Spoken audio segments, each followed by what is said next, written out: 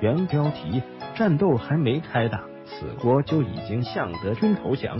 真相却令法国人感到脸红。第二次世界大战涉及了六十多个国家，这场战争主要是由意大利、德国和日本这三个法西斯轴心国发起的。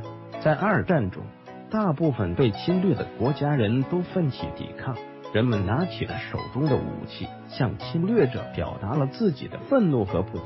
但是，却有一些国家战斗还没有开始就已经投降了。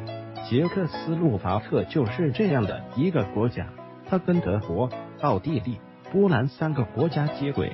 在第二次世界大战中，德国才刚刚派出军队，捷克一点都没有反抗就已经投降了。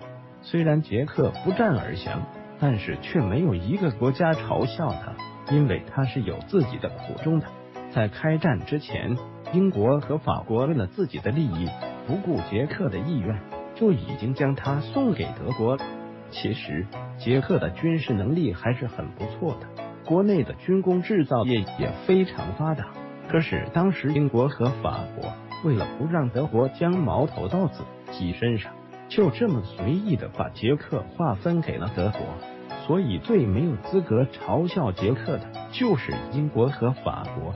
德国开战之后，法国连一周都没有抵抗到就投降了。有人认为，如果当时不是因为把捷克送给了德国，可能法国输的也不会这么惨。返回搜狐，查看更多责任编辑。